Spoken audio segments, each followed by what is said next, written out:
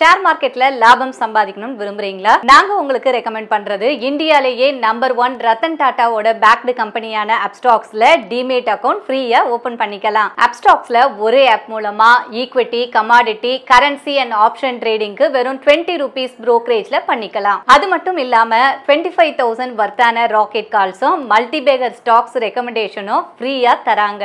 இந்த ஒட்டுமொத்த ஆஃபரும் நம்ம சேனல்ல கொடுக்குற டிஸ்கிரிப்ஷன் லிங்க் மூலமா கிளிக் பண்ணி அக்கௌண்ட் ஓபன் பண்றவங்களுக்கு மட்டும்தான். இப்பவே அப்ஸ்டாக்ல அக்கௌண்ட் ஓபன் பண்ணிக்கோங்க. Hi friends welcome to daily life Tamil நம்ம சண்டே வெனஸ்டேவும் மார்க்கெட் அப்டேட் கொடுத்துட்டு இருக்கோம். இந்த வாரம் உங்களுக்கு வந்து பங்கு சந்தையில என்னெல்லாம் நடக்க போகுது என்னெல்லாம் நடந்துச்சு நீங்க என்ன பண்ணணும் அப்படின்றதெல்லாம் வந்து பேசலாம். வேகார்வா சார் இருக்காரு. வணக்கம் சார் வணக்கம் மேடம் சார் மார்க்கெட் நம்ம போன வாரம் பேசுனதும் இந்த வாரம் பேசுனதுக்கும் பாத்தீங்கன்னா ஒரே அப்படியே தான் இருக்கு. அந்த ஒரு பத்தொன்பதாயிரத்துக்குள்ள அந்த இருபதாயிரத்தை உடைச்சு கீழே வந்ததுல இருந்து இப்போ அப்படியே தான் இருக்கு. திருப்பி அதுல இருந்து சும்மா ஒரு நூறு பாயிண்ட் அந்த மாதிரி சின்ன சின்ன கரெக்ஷன் அப்படியே தான் சுத்திக்கிட்டு இருக்கு. ஆனா ஏன் இந்த இருபதாயிரத்தை உடைச்சு ஏன் இப்படி இப்படி உள்ள போச்சு? அது ஏன் திருப்பி அதை வந்து நெருங்க விடாம தடுத்துக்கிட்டு இருக்கு? அப்படின்ற ஏதாவது ரீசன் தெரியுமா? என்ன நிலவரம் அப்படின்னு சொல்லுங்க சார் இல்ல இல்ல மேடம் ரீசன் தெரியுதோ இல்லையோ ரீசன் தெரியாதது எப்பவுமே சொல்ல மாட்டேன் நானு. சார் கிண்டல் பண்றேன். ஆக்சுவலா என்ன ரீசன்னா ஒன்னு ஒண்ணு ஒண்ணு நம்ம வந்து இருபதாயிரம் மேல போகும்போது ஆக்சுவலா அந்த பிரேக் பண்ணி மேல போகும்போது ரொம்ப ஃபாஸ்டா போனோம் ஒரு ஒரு சமயத்துக்கு வந்து அந்த ரேஞ்சுக்குள்ள இருந்தோம். அந்த ரேஞ்ச் பத்தி நான் நிறைய வாட்டி பேசுகிறேன் எவ்வளோ? பத்தொன்பது இருநூறுல இருந்து பத்தொன்பது எட்நூறு.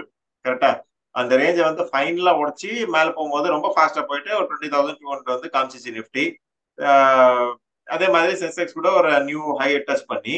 அதுக்கப்புறமா ஆக்சுவலா என்ன இருக்குன்னா மார்க்கெட்ல வந்து சி ஒரு நடு மிட் குவார்டர்ல வந்து அந்த நம்பர்ஸை வந்து உடச்சி மேல போயிருக்கு.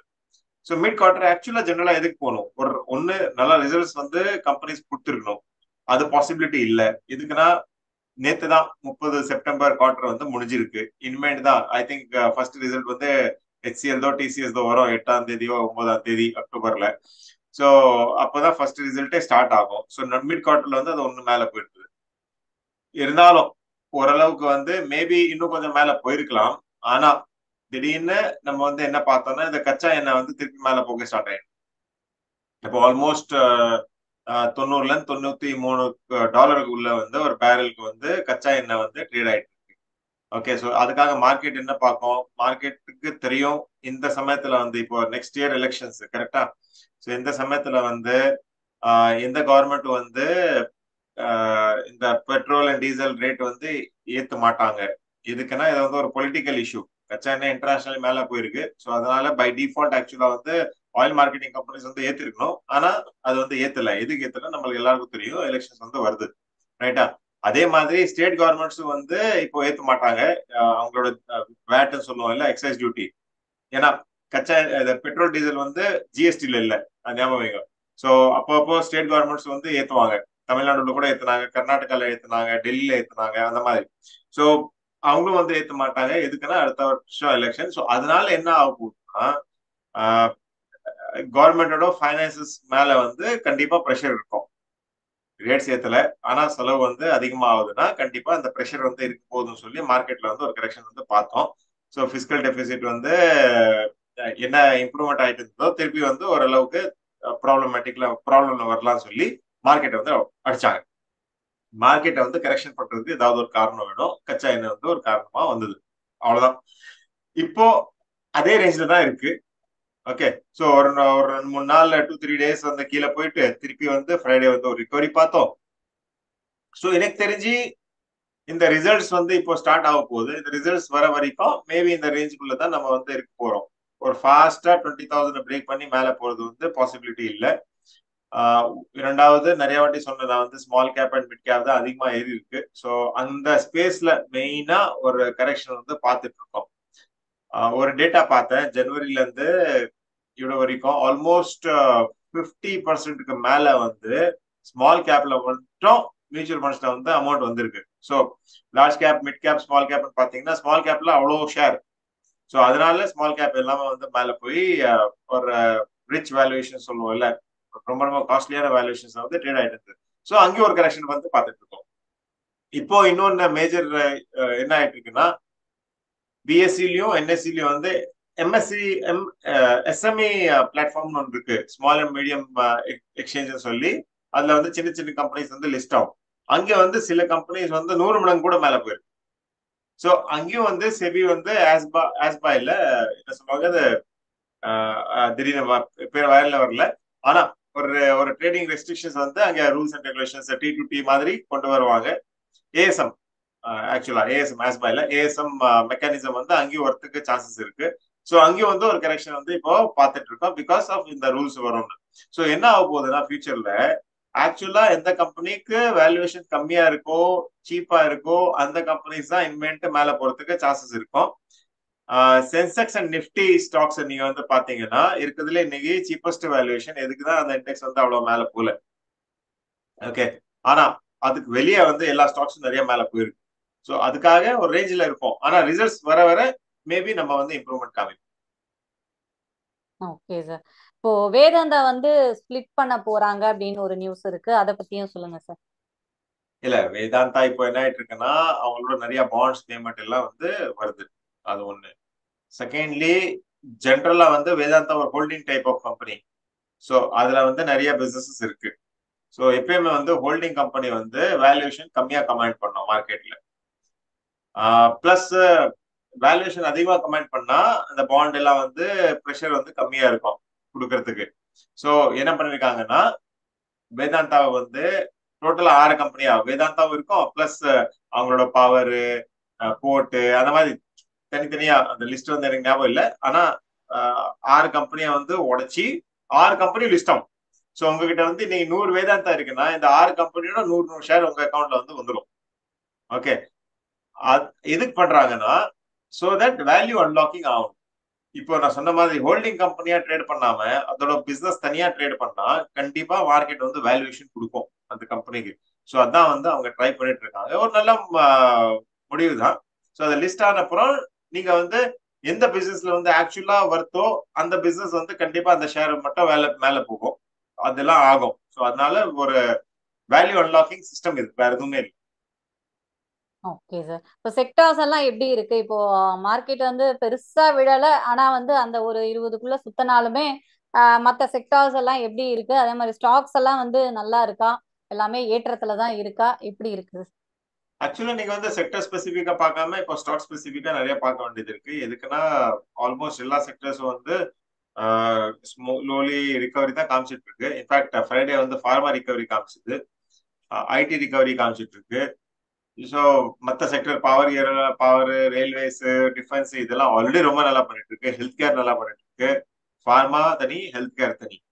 ஸோ ஓவரால் வந்து செக்டர்ஸ் எல்லாமே வந்து மேலே போயிட்டு இருக்கு. அதான் சொன்னது நான் வந்து அந்த நிப்டியோ சென்செக்ஸ்க்கு வெளியே நீங்க வந்து பாத்தீங்கன்னா இண்டிவிஜுவல் ஸ்டாக்ஸ்ல வந்து நிறைய பர்ஃபார்மன்ஸ் வந்து நிறைய கம்பெனிஸ் வந்து காமிச்சிட்டு இருக்கு so more of stock specific தான் இருக்கணும். அது வந்து இன்வெஸ்டர்ஸ் வந்து அவங்களோட அட்வைசர் கிட்ட பேசி அந்த மாதிரி கம்பெனிஸ் இப்போ கூட வேல்யூஷன் கம்மியான கம்பெனிஸ் கூட இருக்கு. வேல்யூஷன் அதிகமான இருக்கிற கம்பெனிஸ் நிறைய இருக்கு. ஓகே ஸோ வேல்யூஷன் கம்மியான கம்பெனிஸ் வந்து இன்னைக்கு வாங்கினீங்கன்னா அடுத்த ஒரு வருஷத்துல எலெக்ஷன் வரும். அது மார்க்கெட் பிளஸ் மைனஸ் சுத்திட்டு இருக்கும். கண்டிப்பா.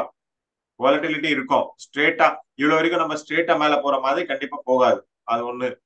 திடீர்னு ஒரு ஒப்பீனியன் போன் வரும். திடீர்னு ஒண்ணு ஏதாவது ஒண்ணு வந்துட்டே இருக்கும் இன்வென்ட் ஸோ மார்க்கெட் வந்து ஒலட்டைல தான் இருக்கு போது கம்மியான வேல்யூவேஷனோட உங்களோட ஓவரால் போர்ட்ஃபோலியோ வேல்யூவேஷன் வந்து சீப்பா இருந்தா நீங்க வந்து சேஃப் ஒருவேளை ஒரு கரெக்ஷன் வந்தா கூட ரிகவரி ஆகிறதுக்கு டைம் எடுக்காது. ஃபாஸ்டா ரிகவரி ஆயிடுவீங்க.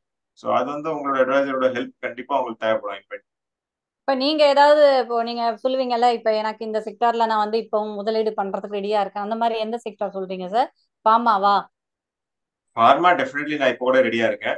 எதுக்குன்னா ஃபார்மா வந்து மோர் ஆஃப் ஃபாரின் டிபெண்ட் ஜாஸ்தி. இந்தியா டிபெண்டோட இந்தியால கரெக்ஷன் வந்தா அப்கோர்ஸ் ஃபார்மலி ஒரு கரெக்ஷன் வரும். ஆனா ரிகவரி ஃபாஸ்டா வரும். எதுக்குன்னா நம்மளோட எக்ஸ்போர்ட்ஸ் வந்து ஃபார்மால அதிகம். இம்போர்ட்டோட ஐ மீன் டொமஸ்டிக் சேல்ஸ் பண்றதோட. ஸோ நிறைய எக்ஸ்போர்ட் சேல்ஸ் இருக்கிறதுனால யூஎஸ் எப்படி ஆயிட்டு இருக்கு யூரோப் எப்படி ஆயிட்டு இருக்கு அதெல்லாம் பார்க்க வேண்டியது இருக்கு. ஸோ அங்க வந்து எலெக்ஷன் எலெக்ஷன் வந்து நம்ம நாட்டில் ஸோ ஃபார்மா வந்து ஒரு டிஃபென்சிவ் பிளேவா வந்து ஃபியூச்சர்ல இருக்கலாம். கண்டிப்பா. ஸோ ஃபார்மா ஒன்று பாருங்க. அதே மாதிரி ஐடி ஐடில பிரச்சனை என்னன்னா அவுட் ஆஃப் கண்ட்ரி அதிகமா பிரச்சனை இருக்கு. இந்தியாவோட. இந்தியால வந்து ஐடி எந்த கவர்மெண்ட் வந்தாலும் எப்படி வந்தாலும் என்ன ஆனாலும் ஐடி வந்து நம்ம இப்போ ஜூம்ல நம்ம செலவு பண்ணிட்டு இருக்கோம். அது பண்ணிட்டு தான் இருப்போம். யார் வந்தாலும் கரெக்டா ஸோ அதே மாதிரி எல்லா எல்லாரும் வந்து அந்த ஸ்பெண்டிங் வந்து ஆயிட்டு இருக்கும் ஸோ ஐடி அண்ட் ஃபார்மா எனக்கு தெரிஞ்சு ஒரு சேஃபான பெட் இந்த இந்த லெவல்ஸ்ல ஓகே சார் ஸோ இப்போ எஃப்ஐஎஸோட முதலீடு அப்படின்றது அதிகரிச்சிருக்கா? இல்லை இன்னும் வந்து வித்துக்கிட்டு இருக்காங்களா? எப்படி இருக்கு? அவங்களோட நிலைமை எஃப்ஐஎஸ் வாலட்டைல தான் இருக்காங்க. ஆனா ஓவரால் பாருங்களேன் நம்மளோட எக்கானமி க்ரோத் வந்து ஆன் ட்ராக் இருக்கு. இன்ஃபேக்ட் நேத்து தான் பி அனந்த் நாகேஸ்வரன் அவர் சீஃப் எக்கனாமிக் அட்வைசர் அவர் சொல் அவரும் நேற்று சொல்றீங்க six point five percentage annual growth GDP க்ரோத்ல வந்து நம்ம ஒரு ரெண்டாயிரத்தி முப்பது வரைக்கும் இந்தியா வந்து க்ரோத் காமிச்சிட்டு தான் இருக்கும். அது ஒண்ணு. ஸோ அதனால இந்தியா வந்து பாசிட்டிவ் சைனால வந்து பெரிய இஷ்யூஸா போயிட்டு இருக்கு சைனால வந்து எவர் கிராண்டே ஒரு டாப் மேனேஜ்மெண்ட் எம்ப்ளாயியை வந்து தேடிட்டு இருக்காங்க கிரிமினல் கான்ஸ்பிரசில ஸோ அங்க வந்து ஒரு பெரிய பிரச்சனைகள் எல்லாம் போயிட்டு இருக்கு ஆனா இந்தியா வந்து ஒரு சேஃபான இது. நேற்று வந்து நம்ம கோர் இண்டஸ்ட்ரி நம்பர்ஸ் கூட கொடுத்தாங்க. டுவெல் பர்சன்ட்க்கு மேல வந்து குரோத் பார்த்துருக்கோம். பிளஸ் அதுல இருக்கிற எல்லா செக்டர்ஸும் வந்து ஆல்மோஸ்ட் குரோத் தான் பார்த்துருக்கோம். ஸோ அதுக்காக என்னன்னா பெருசா கரெக்ஷன் வந்து வர மாதிரி எனக்கு வந்து தெரியல. ஓகே பெருசா கரெக்ஷன் வந்தா எல்லாரும் வந்து இன்வெஸ்ட் பண்றதுக்கு ரெடியா இருப்பாங்க. இருக்கிறதுலே பிக்கஸ்ட் ரிஸ்க் என்னன்னா ஒருவேளை மோதி வரலன்னா மார்க்கெட் வந்து அது நெகட்டிவா பார்க்கும். ஸோ மார்க்கெட்டுக்கு வந்து மோடி தான் பிரதமரா திருப்பி வேணும். இந்த கவர்மெண்ட் தான் வேணும். ஸோ அந்த மாதிரி ஏதாவது நெகட்டிவா நியூஸ் வந்தா சரி ஒரு ஒப்பீனியன் போல் வருது இல்ல ஒரு டூ ஃபிஃப்டி சீட் தான் வரும் த்ரீ ஹண்ட்ரட் கீழே வரும் டூ செவன்டி டூ தான் வரும் அந்த மாதிரி தான் மார்க்கெட் வந்து கண்டிப்பா ரொம்ப ரொம்ப வொலட்டைலா இருக்கும்.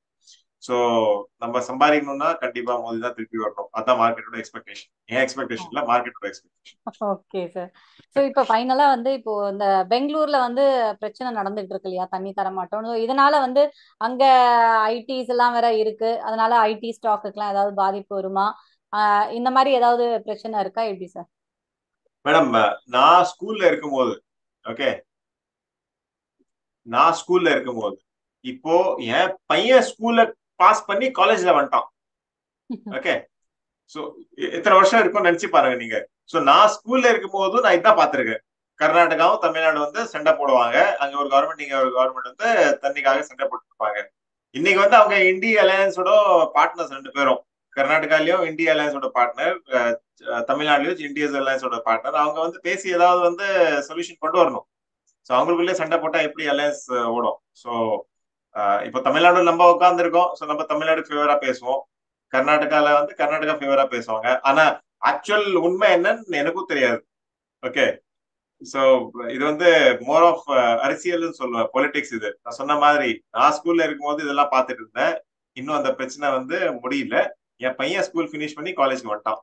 அந்த பிரச்சனை இப்படிதான் போயிட்டு ஓகே சோ இதனால மார்க்கெட்டுக்கு எதுவும் பிரச்சனை கிடையாது. அதனால இத்தனை வருஷத்துல எதுவும் ஆகல மார்க்கெட்டுக்கு இப்போ என்ன அப்பனா ஓகே சரி ஓகேங்க சார் ஃபைனலா கோல்டு கூட வந்து இறங்கி இருக்கு அப்படின்ற மாதிரி நியூஸ் பார்த்தேன். தொடர்ந்து ரெண்டு மாசமா கோல்டு எல்லாம் இறங்கிட்டு இருக்கு அப்படின்ட்டு. இப்ப கோல்டுல வந்து முதலீடு பண்றவங்க அப்படின்றது பண்ணலாமா? அதையும் சொல்லிடுங்க. கோல்டு எதுக்கு இப்போ கொஞ்சம் இறங்கி இருக்குன்னா இப்போ எக்ஸ்பெக்டேஷன் யூஎஸ்ல என்னன்னா இன்ட்ரெஸ்ட் ரேட்ஸ் வந்து கீழே வரும். ஓகே ஸோ அதுக்காக ஒரு கரெக்ஷன் வந்து நம்ம வந்து பார்த்துட்டு இருக்கோம் எனக்கு தெரிஞ்சு இந்தியாவில் கூட இன்ட்ரெஸ்ட் ரேட் வந்து கீழே வரதுக்கு இனிமேட்டு வாய்ப்பு இருக்கு. அட்லீஸ்ட் அந்த ஒரு டாப் சொல்லுவோம்ல அந்த டாப் வந்து நம்ம டச் பண்ணியாச்சு. மேல போற மாதிரி எனக்கு தோணல. அவங்க அவங்க சொல்லுவாங்க இன்னும் ஒரு ஹைக் இருக்கு இன்னும் ரெண்டு ஹைக் இருக்குன்னு சொல்லுவாங்க.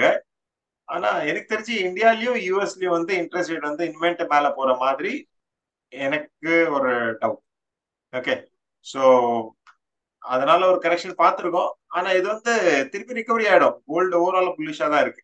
ஸோ மேபி அடுத்த ஷோல நம்ம லெவல்ஸோட நான் கொடுக்குறேன். ஆனா கொஞ்சம் புல்லிஷா தான் இருக்கு. ஓகே சார் ஸோ மார்க்கெட் அப்படியே கொடுத்தாச்சு. தேங்க்யூ சார் ரொம்ப நன்றி மேடம் ஓகே ஃப்ரெண்ட்ஸ் கண்டிப்பா எல்லாருக்கும் யூஸ்ஃபுல்லா இருந்திருக்கும்னு நினைக்கிறேன். உங்களுக்கு ஒரு நல்ல ஃபைனான்ஷியல் அட்வைஸ் வேணும் போர்ட்ஃபோலியோலாம் கிரியேட் பண்ணணும் நல்லா அப்படின்னு நினைச்சீங்கன்னா சரோட அட்வைஸ் எடுத்துக்கலாம். ஸ்கிரீன்ல ஆஃபீஸ் நம்பர் இருக்கு. கால் பண்ணி டீடைல்ஸ் கேட்டுக்கோங்க. மறுபடியும் அடுத்த வீடியோல பார்க்கலாம். ஷேர் மார்க்கெட்ல லாபம் சம்பாதிக்கணும்னு விரும்புறீங்களா? நாங்க உங்களுக்கு ரெக்கமெண்ட் பண்றது இந்தியாலேயே நம்பர் ஒன் ரத்தன் டாட்டாவோட பேக்டு கம்பெனியான அப்ஸ்டாக்ஸ்ல டிமேட் அக்கௌண்ட் ஃப்ரீயா ஓபன் பண்ணிக்கலாம். அப்ஸ்டாக்ஸ்ல ஒரே ஆப் மூலமா equity commodity currency and option ட்ரேடிங்க்கு வெறும் டுவெண்ட்டி ருபீஸ் ப்ரோக்கரேஜ்ல பண்ணிக்கலாம். அது மட்டும் இல்லாம டுவெண்ட்டி ஃபைவ் தௌசண்ட் வர்த்தான ராக்கெட் கால்ஸும் மல்டிபேகர் ஸ்டாக்ஸ் ரெக்கமெண்டேஷனும் ஃப்ரீயா தராங்க. இந்த ஒட்டுமொத்த ஆஃபரும் நம்ம சேனலில் கொடுக்குற டிஸ்கிரிப்ஷன் லிங்க் மூலமாக கிளிக் பண்ணி அக்கௌண்ட் ஓபன் பண்ணுறவங்களுக்கு மட்டும்தான். இப்போவே அப்ஸ்டாக்ல அக்கௌண்ட் ஓப்பன் பண்ணிக்கோங்க.